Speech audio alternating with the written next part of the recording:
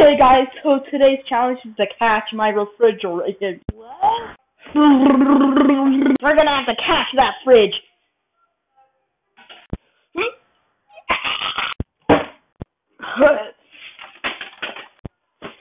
I'm gonna catch it. I caught it. Wow. Play safe. Vote in there to vote. So the one eliminated this time is Napkin. Let's go. Wait, but there's only two of us. Did you vote for yourself? Yeah, that's kind of what I get for skipping the challenge. Plus, I don't really need a, the prize. What even is the prize?